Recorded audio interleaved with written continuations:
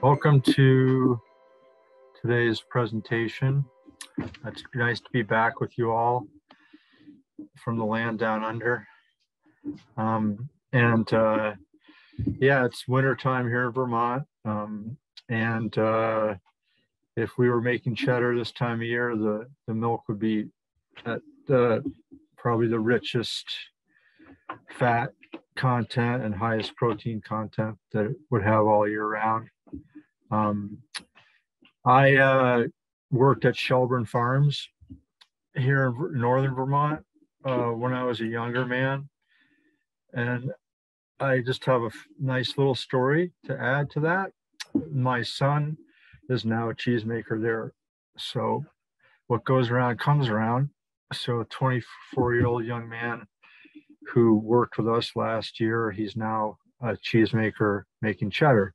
And my joke about being a Vermont cheesemaker is that you can't really be one unless you know how to make cheddar because we do call cheddar Vermont cheese. You'll see it on signs everywhere.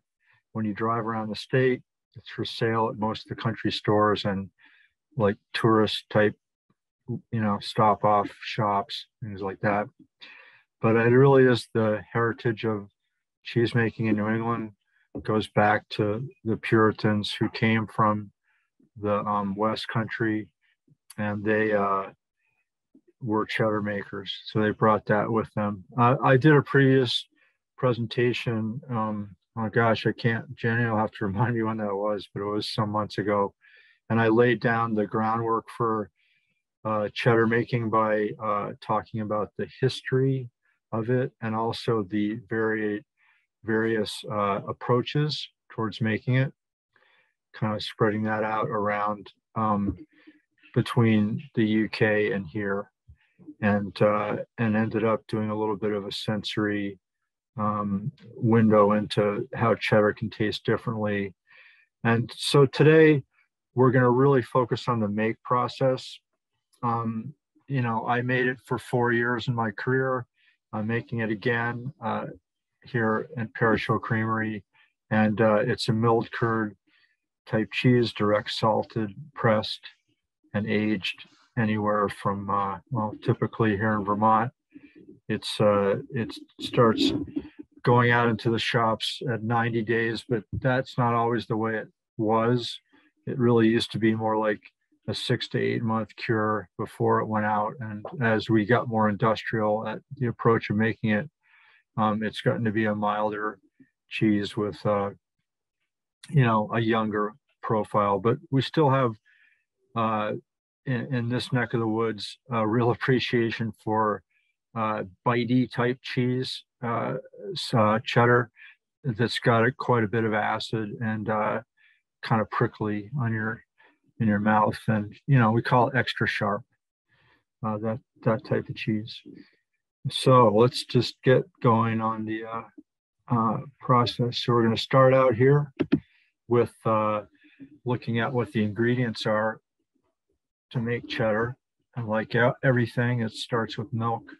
We're talking about cheese. Um, so we want to think about um, these five aspects of, of the ingredients, and I'm going to take them one at a time. And I'll start with uh, raw milk production that's on the farm, and then uh, how it's treated again on the farm, but also at the plant. Moving on to heat treating the milk, and then uh, focusing on cultures and rennet. Before we head on to actually the steps of making cheddar, and then uh, ending up with uh, a bit of a discussion around that, uh, where I, I'll focus on a chart I made that is really represent uh, represents the way that I learned how to make it. Um, and uh, yeah, so let's take these one by one. So, of course, uh, on the farm side, um, if we're a pasture-based farm, we're going to have uh, milk that is really uh, representational of the place that it's produced.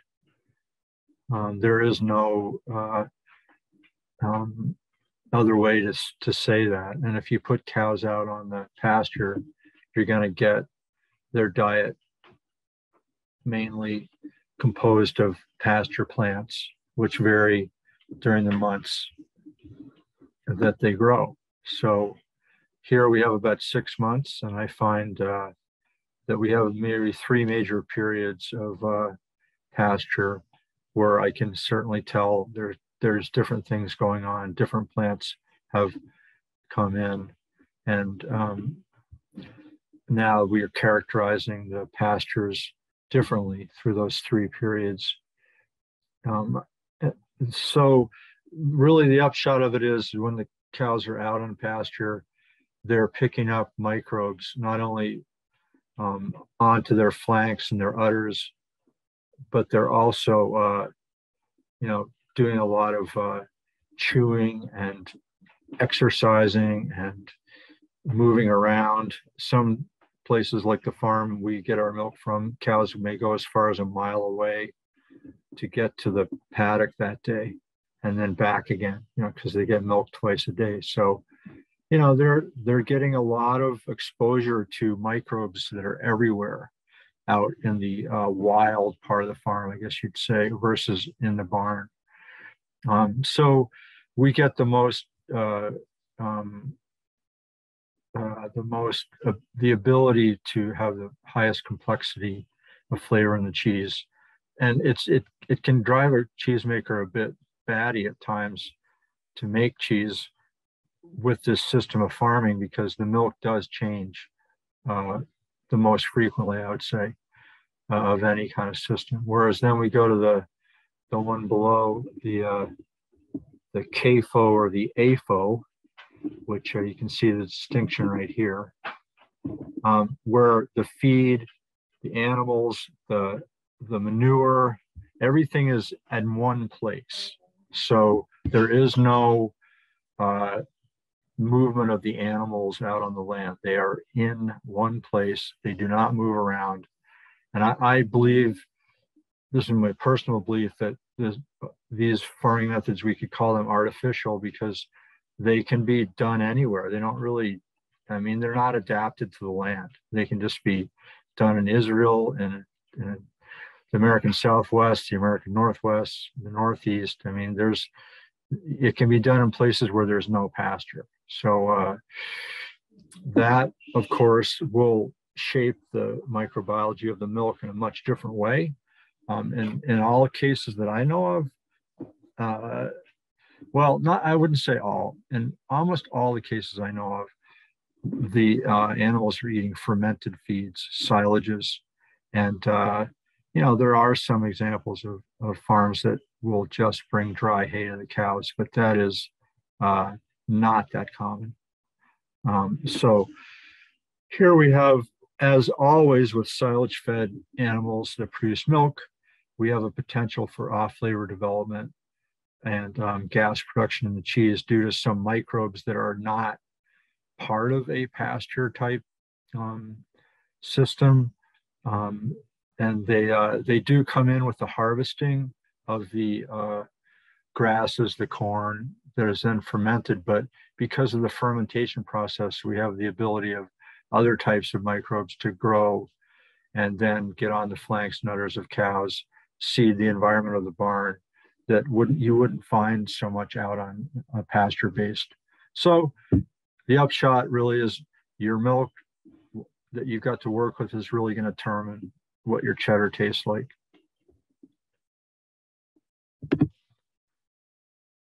So uh, now we're we're we've got the milk. How do we hang on to it? What do we do uh,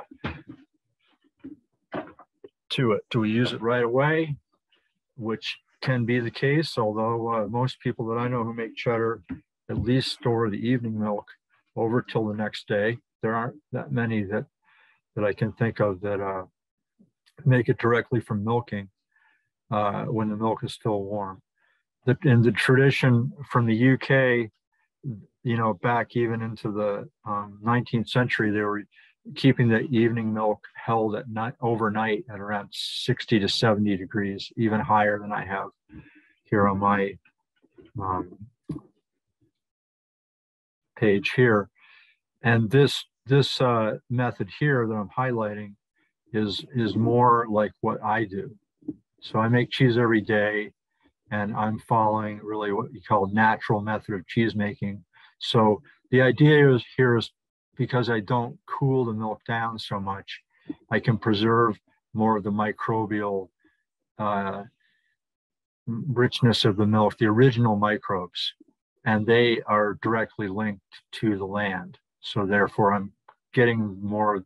You could say it's a terroir-driven approach of cheese making, versus in the blue we have all the points about cold storage, and here we change the microbial balance pretty drastically because the lactic acid producing bacteria do not really like cold. So they die off and they're becoming replaced by bacteria called psychrotrophs that, that can grow when in the milk's cold. And, uh, and the longer you hold the milk, the higher the loads get. Unfortunately, those type bacteria do not produce enzymes and are that are really good for cheese flavor. Um, you they also also you're degrading your casein during cold storage, and you are going to be losing some cheese yield. Um, you're you're definitely going to have to use more starter culture with cold stored milk than you would with milk produced in it, you know, for cheese making by a natural method up here. And finally, we will will have to may have to go to using uh, even in raw milk calcium chloride to replace some of the calcium that's solubilized uh, during um, during the cold storage.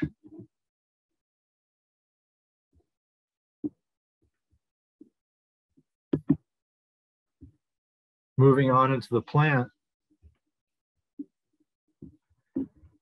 uh, you have your choice. Um, at least I here in the U.S., you know, cheddar being a cheese that age, ages past 60 days, you can always make it out of raw milk. But the question there is, you know, what kind of milk do I have?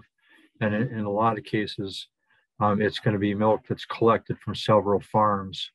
Uh, and so therefore the need to heat treat it either by thermizing or pasteurizing. And um, when we move away from keeping it raw, it's again terroir driven approach, and uh, with these other benefits, um, like uh, just having a, a, a, better set, or I guess I'd say just a firmer set, some faster whey drainage, and then um, the reliance on culture is a lot less. So you're not having to use as much culture to get the lactic acid fermentation that you want down here with heat treating, we could thermize where we're not fully pasteurizing. We still are going to hang on to some of the microbes that could be beneficial for cheese aging, like lactobacilli type species that are, are going to kick in during aging, the latter stages of aging, and produce some more rounded and sometimes nutty flavors in the cheese. Or, or you know, full on pasteurization we're going to eliminate most of those too. So we're really left with nothing and we have to replace everything we want with cultures. And they're, you know, both, we'll get to that soon, right away. Um, we definitely are going to be putting in calcium chloride after pasteurizing because some of that soluble calcium that uh, that is necessary for good coagulation to bind the caseins together has shifted into the casein particles, and we have less soluble calcium and higher insoluble. So most cases, we're going to be adding calcium chloride to um, to get that curd to set up firmer. And finally, um, we will get, you know, uh, a higher cheese yield. Um, pasteurizing goes kind of hand in hand with with these cheddars that are uh, higher in moisture and you know we can go up to 39% moisture in cheddar is the maximum so if you're if you're designing your make process to make cheddar that is only going to age, say 90 days to to six months, there's really you might as well run the moisture right up and and you know pasteurizing is kind of goes hand in hand with that the the milder faster aging cheddar than uh, than the raw milk type approach where you're making cheddar you know for more long hold I would say. Uh, I mean you can do both but um, you're not just focused on one way of making cheddar. Whereas uh, with a pasteurized milk type process you can really be banging out a lot of you know younger cheddar and and be in that market. Just a thought. For cultures we have um, some definite choices we can make. If we're working with raw milk we can make our own starters. So uh, like we do here at Parish Hill Creamery directly from milk from individual cows and then we carry those cultures. That's the way these cultures that are are made by Barbers in the in the UK for the Somerset and other cheesemakers uh, were originally produced by the cheesemakers from different farms milks in the area and they were kept alive you know for for going back uh, hundred years or so. And uh, this company barbers produces them for the cheesemakers and the cheesemakers can take these pint starters and then grow them in their own factories to make larger amounts of starter to add into the vat. So they have what you would call like a culture bank uh, there in, in that particular part of the world. Whereas here, we made our own. You know, our culture bank is uh, essentially our chest freezer uh, where we keep the starters in limbo until we want to use them and, and make cheese. Then we can we can go to using direct vat set starters or commercially prepared bulk starters specifically for cheddar. And these tend to be uh, historically, or you know, the traditional type cheddar culture was a was a Lactococcus lactis and Lactococcus cremoris blend. And in the older times, the cremoris was higher and the cheese makes were slower and the cheese had more uh, aromatic potential. It, it wasn't just, uh, you know, such a fast make process. So they didn't need to have so much, such high proportion of Lactococcus lactis in the starter to, to make it with that slower method. And I've heard tales of how, you know, the cheese, I can even remember growing up here as a kid, because I'm 64 now, uh, of just the cheddar being very, very flavorful. Um, I don't, not sure as everyone would like it. You know, it's, it, it had a big flavor. It, you know, it wasn't just this kind of mild, easy to eat cheese. It was sometimes kind of challenging to your taste buds, but I think, you know, that's that's what people were looking for around here, um, and still are, to some extent. Then, then finally, we begin to blend in uh, Streptococcus thermophilus here, which is producing a culture called rapid acidification RA and that was developed. I think uh, it started coming in in the 90s. I remember as a freeze dried culture, and what that does is it enables you to to when you're cooking the curds and whey in the vat, uh, you're at 100 or so.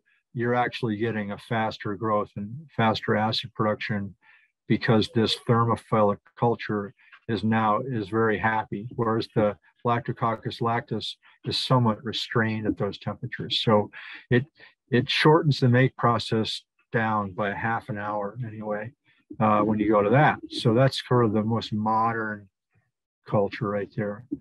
And then we have the ability to do two other kinds of, of culture. One could be uh, the adjunct set where we could start to put in these uh, lactobacilli type cultures to make the cheeses sweeter. And that has become the distinctive characteristic of the American cloth bound cheddar.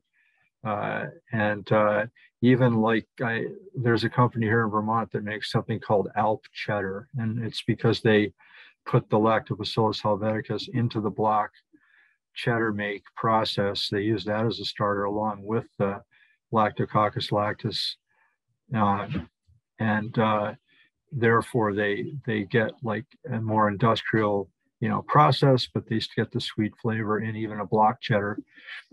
Um, and finally, you could grow up Lactococcus cremoris by itself and then, you know, be doing your own blends of Cremoris plus Lactis here to, to get your own style of, of culture that would fit your make.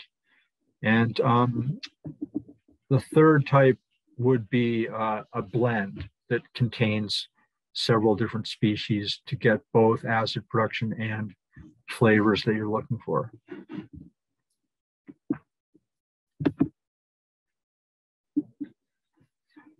For rennet, uh, four choices really with cheddar making. And the fourth, I would say here is the most controversial. I've taken classes in cheddar making from English cheesemakers from Somerset.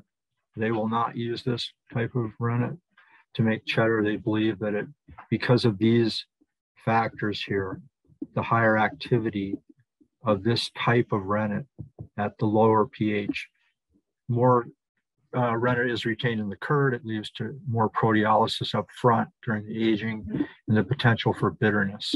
So that that's not something they want to mess around with. Um, the recombinant type rennet is uh, pure chymosin. That's probably the most widely used rennet these days.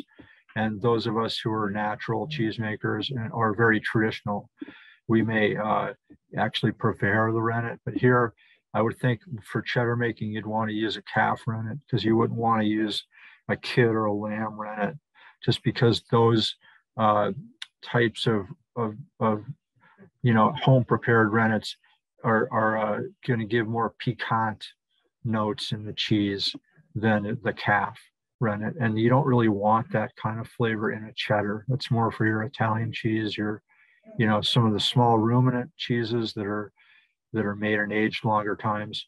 You really appreciate that kind of flavor in them with the sheep milk and the goat goat milk for hard cheeses.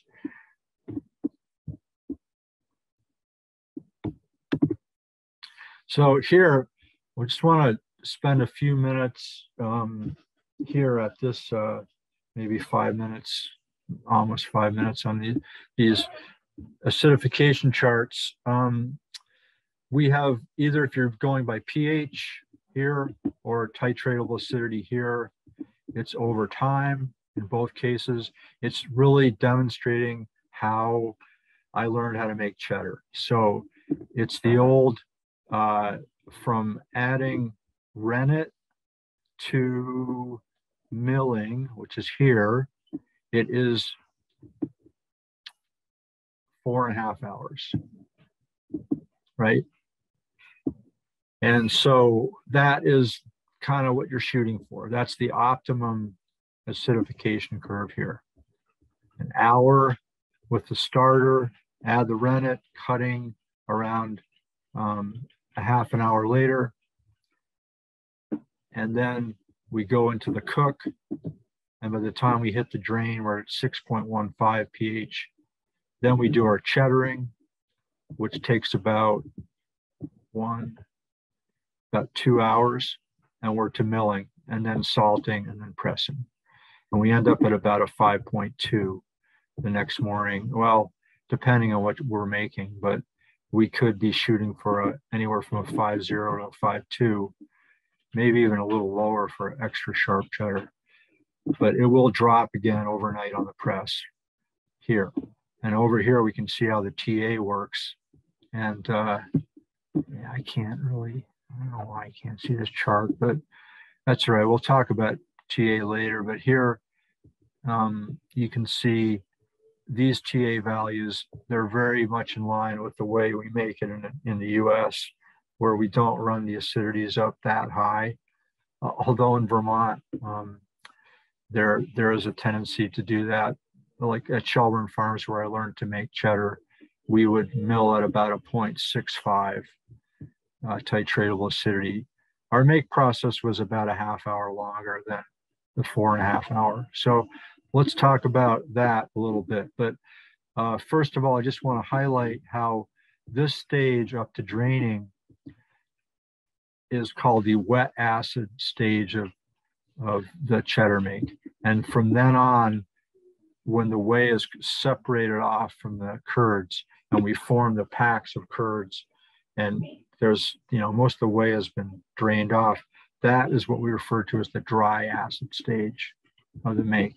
And so, as in many other cheese makes, um, but I was really schooled on cheddar in the early part of my career.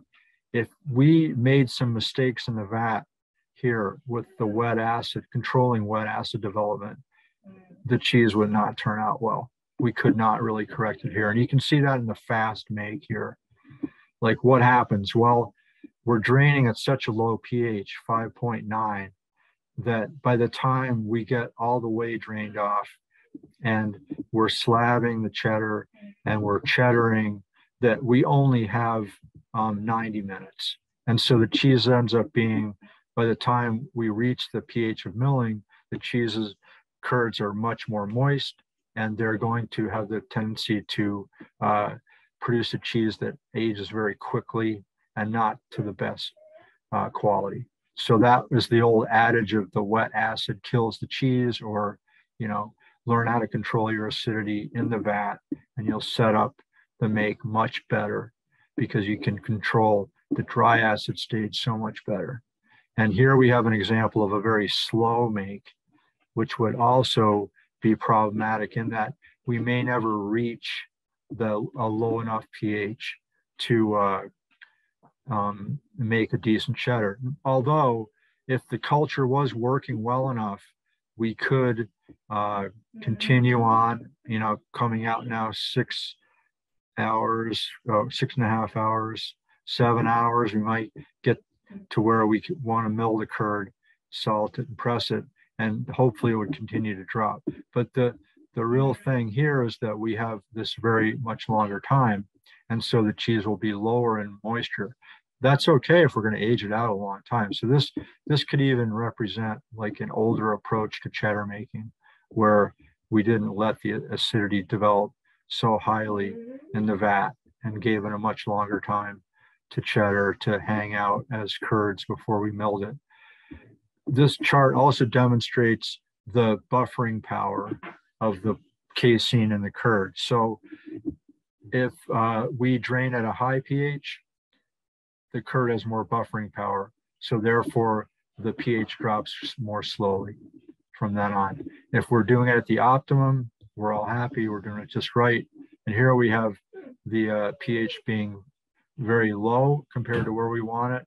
And the buffering capacity of the curd is not very good. And so it pH drops really fast.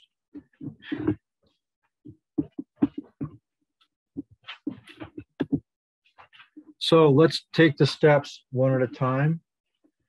We still got a half hour and uh, I pretty much just covered it, but I'm, you know, you're getting this as a handout and you can study it. Really the presentation, I think tonight, I'm gonna try to wrap it up in 15 minutes. I will wrap it up in 15 minutes and I'll leave plenty of times for questions. We can always come back and look at these if things are getting boring, but I don't think they will be. So uh, here we go. Uh, the difference between using a bulk starter or a direct vat inoculant is 30 minutes essentially. Uh, we have a, uh, uh, a make process that is here a little bit more dictated by time, and here it's dictated by that initial drop in pH. And you can see here on the chart, we'll go back, this is actually a chart from an older time before uh, direct vat inoculated starters were used. And we can see how we have that one tenth or half of a tenth at least drop in pH before we add rennet, or over here about a um, 0.1 increase, 0.01 increase in titratable acidity before we add rennet. And that that's because when we put in the starter culture, it lowers the um, pH. Oops, gotta go back. It lowers the pH initially because you're putting an acid ingredient into the milk. Here you're putting a powder in and it doesn't do anything to change it. And in fact, direct vat starters, they get working much faster later. So going by time is not a bad thing when you're using them, just knowing how it's going to work later on in the dry acid stage is the key.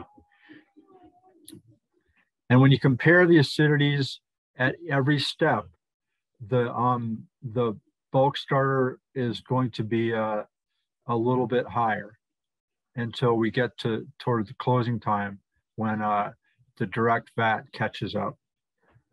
Setting temperatures can vary. We we used uh, 88 degrees uh, when I learned to make it, but um, just remember that when you change this temperature, you're going to change the range here of your of going from your temperature at setting, so adding rennet, cutting the curd, to the highest temperature you're going to cook at.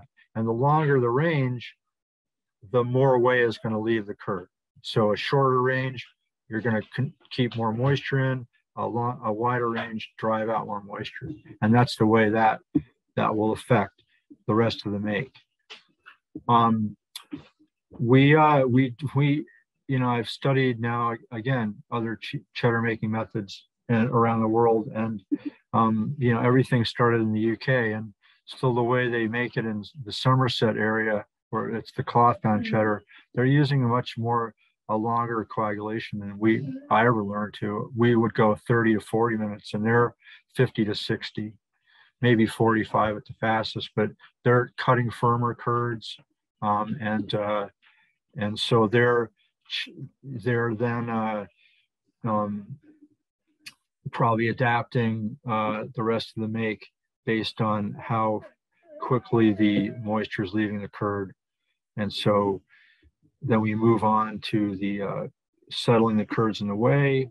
And that is where the the moisture content of the curd, what's called the grip, the springiness of the curds, which is how you can tell if they're cooked firm enough, has to be matched to the acidity, that 6.15 pH, whatever you're looking for. And then you'll have curds that knit properly, that, you know, the right amount of moisture will continue to seep out, and you're setting everything up for that dry acid development. That is the cheddaring rate and then I was talking about structure. So, you know, doing a good job here, deciding, you know, oh, my curds are firmed, but the, the acidity is not high enough. And, you know, I'm going to let them settle out and I'm going to wait 10 minutes, check the acidity. Oh, good. Now it's ready. Now I can drain it. You know, whereas in another make, I might be able to match the two perfectly. So I let it settle out and then I start to drain it right away. But we can always delay the drain to get the acid to creep up if the curds are firm. So that's one way to look at that. The dry acid stage, which is uh, first forming the pack by trenching down the middle so the whey can seep out, and um, then going into cheddaring, cutting the packs into slabs, piling them, and on gives you uh, the right uh, um, texture that you're looking for. And that that is that that time you know it really influenced heavily the um, the kind of texture you're going to get in the cheese um, for this really long longer cheddaring times and running the acid up higher it creates these uh, slabs that are very uh, billowy like very flimsy and thin. And um, the the cheese flavor then becomes more uh, rounded and uh, the, the texture is even a bit more supple with that kind of slower cheese make than when you, you get to your final milling pH quicker in the four and a half hour. You know, here our cheddars are a bit more flaky in Vermont than they are in the Somerset, UK. And then we get on to salting and we have to match the, uh, we have to actually predict the yield. And there's a formula that I, I learned how to use called the Van Slyke formula that uh, we can use uh, the milk fat and protein and cheese moisture put into the formula. And that way we predict the amount of yield from the milk. And then we go ahead and say, oh, well, then we're going to add, you know, three pounds of salt for every thousand pounds of milk, that kind of thing, hoping that we will attain the perfect amount of brininess in the water phase of the cheese for half to five and a half percent salt and moisture. So that's not percent salt. That's actually like the brine concentration of the cheese. Um, if you were to, to, you know, take some water out of the cheese and measure it, it would, it would have that much um, brininess to it versus a whole sample of cheese measured, it would be around 1.75%. So there's a difference there. And this is much more of a good parameter to know for quality control because this is how you get your control over the aging process. When you have that range of salt and moisture, you've got good control over proteolysis and your your aging won't race away on you and you'll get the right flavor development and texture development in the cheese. Then we end up pressing typically overnight, but you know, some factories are running two makes a day and they, they want to get at least five hours on the press. Usually the first hour is uh, before the next batch comes on the press. Uh, and so usually the first uh, hour is at a lower pressure and then you take the pressure off, you tighten up your cheesecloths, you put the hoops back on the press, and then you uh, and this is with like cloths you know cheesecloths that are made out of cloth not like the poly type that we that i you know when i made cheddar we had already they'd already switched into the disposable poly cloths and you don't really have to tighten those things up you'll just probably tear them.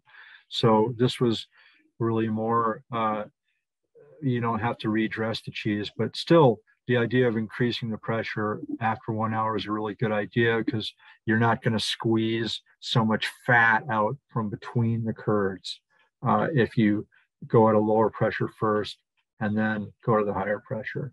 So you'll you'll end up with a lot less fat out on the outer part of the cheese if you step it up gradually. And keeping the temperature warm enough is really important as well. So um, we get out of the vat and into the aging. And for block cheddar, vacuum sealing and boxing, uh, we used to put the, the blocks already in their boxes on uh, pallets in a cold room so they could harden up for a day before we stacked them. And we'd build these, you know, pretty high stacks, maybe three feet high of blocks, and then have a platform and another bunch of them kind of like the idea of homemade pallets to age the cheddar. Um, eventually, you're going to be doing the grading to select the cheese for the different markets or the different aging times that you're going to use. And this is usually done around uh, 72 days. Most of the people I've worked with like to do it right in there, 72 days.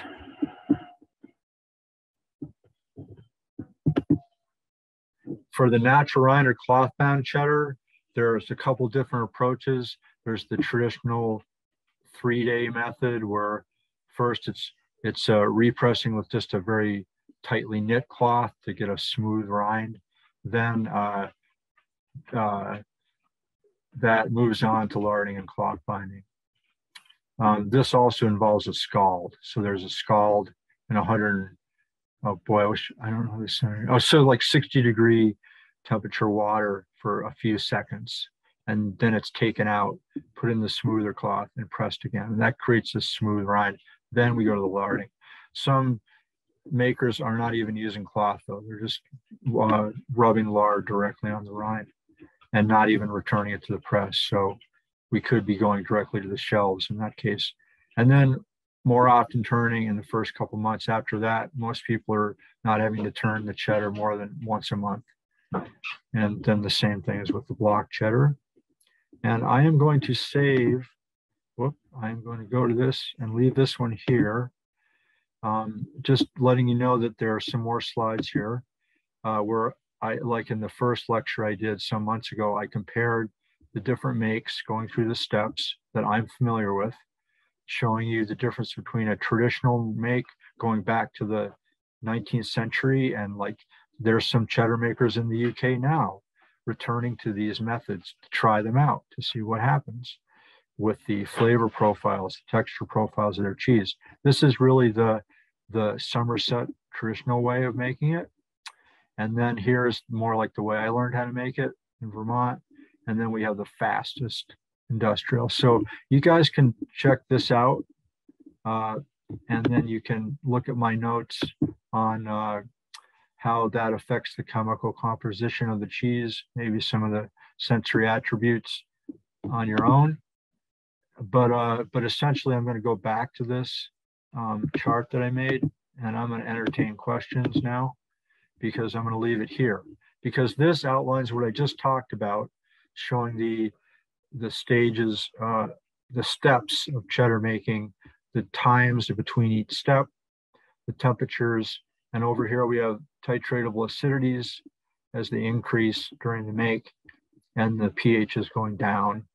And just in this block here, I, I outlined um, how we can go from your typical four and a half hour from rennet to milling. See, rennet to milling, four and a half hour, or a seven hour make on the on the whole, to a longer make where we can run the acidity up higher, and that would add on another hour. So we'd have five and a half hours from rennet to milling, and I've made cheddar somewhere between the two. Typically, you know, I was at like a five hour make rennet to milling, milling. So mostly four and a half to five hours. And, you know, occasionally we'd make some extra long aging cheddar and we might do this kind of make where we would get that uh, more, as I said, pillowy, very stretched out uh, slabs of, of curd to mill for uh, prior to salting. So I am going to now open it up to questions with 15 minutes left.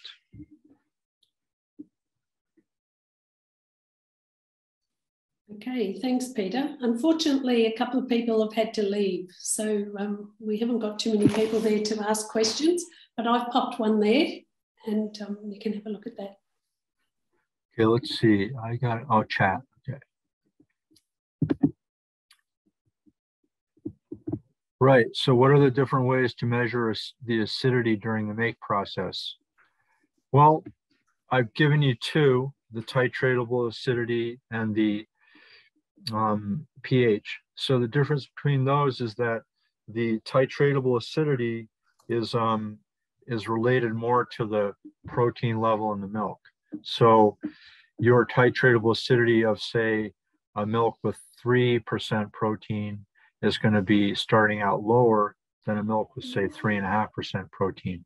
That also means that we we will most likely be running up the titratable acidity higher on the higher protein milk going into the cheese to get, you know, say a sharp cheddar than we would have to with lower protein milk. So it's relative to the actual starting point of the protein in the milk, whereas the pH is not. It's not tied to that directly. But there is another way to measure acidity, and it goes back to the old times. And I've actually done it, and it's quite good. And it's very easy. It's called the hot iron test.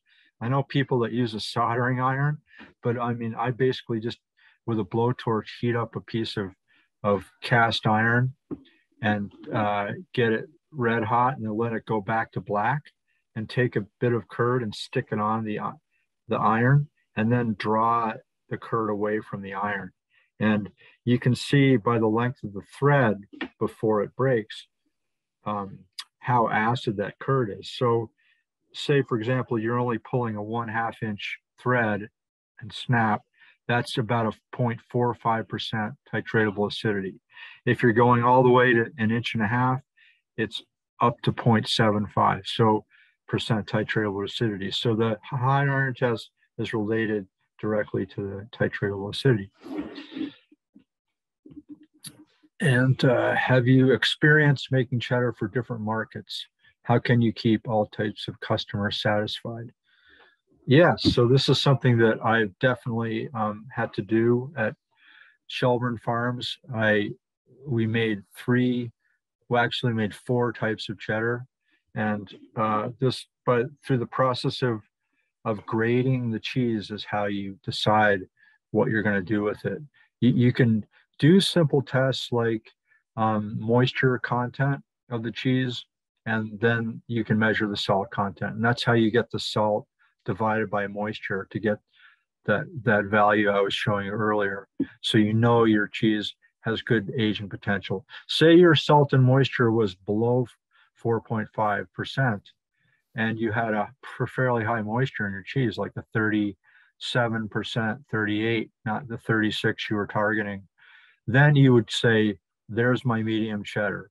And you would be grading it at 72 days. If you picked up any bitterness, you may not, uh, you know, depending on the extent of it, you may not find a good market for it. But, it, you know, if it's in a tolerable range or, or without any bitterness, then you would know you've made yourself a medium cheddar. You wouldn't have the confidence that you could potentially age that a year or more, though. You would want to see in the values of from doing those tests what you got, and that would give you the confidence about that. So it's good to have some testing, uh, some analysis, some data, plus your own sensory notes on that batch of cheese to know what to do with it. And you're basically looking at this I can go down here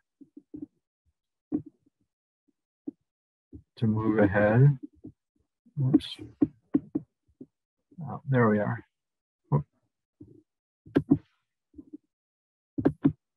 Okay. Moving to here, where we can see based on these three profiles, you know, higher moisture to lower moisture and uh, higher pH to lower pH that we're moving towards being able to age cheese longer. And so that's how we're going to um, make cheddar for different markets. Finally, we even have markets where the, the cheddar is quite, you know, they want something very strong. And it's what I call bitey. It's got kind of like prickly acidity in the back of your mouth when you eat it. And uh, it's all goes back to the grading of the cheese is, uh, is how you decide which cheese is best for which market. Thanks, Peter. Um, Burke has asked a question there also. Okay, let's see.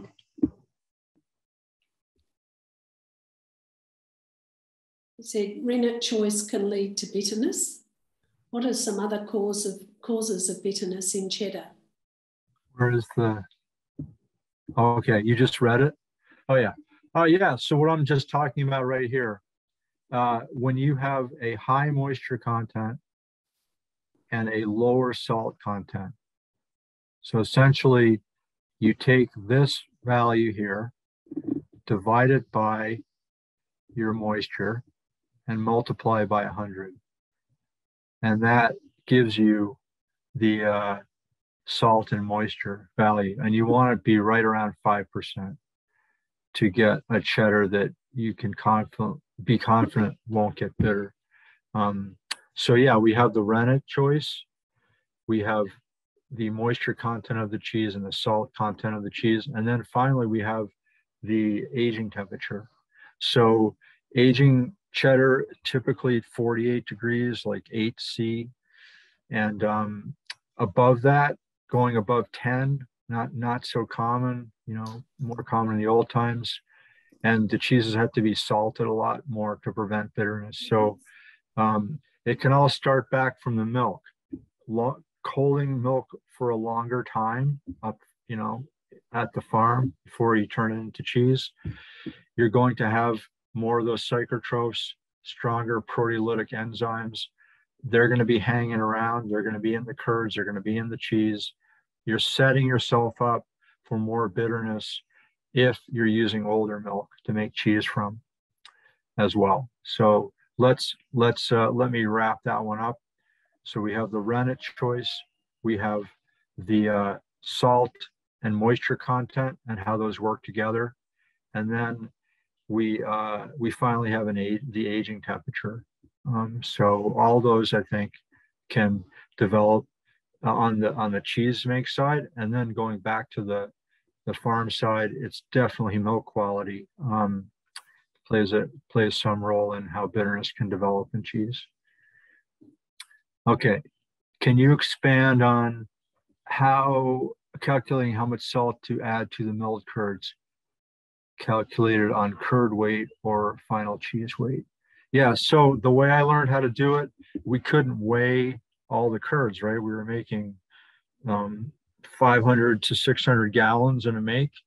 So we would do this predicted yield that is it's called the Van Slyke formula. And if you know your milk fat and your milk protein and your cheese moisture that you're trying to make to, and you should have a sense of that, you know, having making cheddar, you should know about the grip, you should know about the cheddaring rate, and you should be able to have a pretty good idea that today I'm making a 35% to 36% cheddar, you know, some somewhere in that tight range. Then you plug those numbers into the formula, it gives you a predicted yield. So you go, I'm working with a thousand pounds of milk today. My predicted yield is 11%. So I'm getting, uh, you know, 110 pounds of, of cheese out of that. And then you go to your salt and you go, I, I need, you know, to make my cheese right. Like we, we made a chart that reflected that predicted cheese yield because we knew historically on the farm the way the milk components moved and how it affected yield. So, you know, here we're in the month of October, we're adding 3.2 pounds of salt for every 100 pounds of predicted yield. Whereas back in summer and July, we're adding uh, 2.75 pounds or 2.9 pounds. So it, it, it really is completely tied to the yield. Um, so uh, yeah, and I think in your question, you're reflecting on, yeah, that that if you could weigh the curds, you would have an amount of salt that would be appropriate to add to the curds, knowing the weight of the curds. But if you're doing it on the final cheese weight, you have a different amount of salt that you know you you would uh you would be adding. Um, well, I mean, you'd be adding the same amount of salt, but you'd just be predicting it in a different way. Here, adding it to the curds, you'd be weighing it directly. Um, and then uh, on the cheese weight, you're predicting yield. Uh, so yeah, about yeah, about three percent um, of, of what you expect. That's like we varied between three and three and a half during the year of making cheese. So, uh, like I said, in October, November, we were adding more like three and a half back in the summer it was three and that was all based on the predicted yield but yeah and, and a lot of the recipes i've read there it's pretty much like 2.75 percent. And i i you know we were using brown swiss milk. And so the protein was never below i think 3.3 percent. The fat was never below four. You know whereas when you look in these in books like you know making cheddar in the us kind of usda type books, um, you'll you know they're it's it's Holstein milk they're working with, so 2.75 uh, percent is appropriate for that when you're only got a three 3.1 percent protein and like a 3.5 percent fat. So again, it all goes back to predicting the yield Van Slyke formula. Okay. Well, thank you very much, Peter. Um, Berg, might be a good idea to get over there to Vermont and meet Peter and work with him and actually do it with that, with him. now things are um, settling down. Anyway, if other people have um, I, any other questions, you're most welcome to email Peter. His email is on the PDF that was sent to you. So thank you very much, Peter, for all your hard work that you've put into this today. And um, my pleasure. We look forward to seeing you again in the future.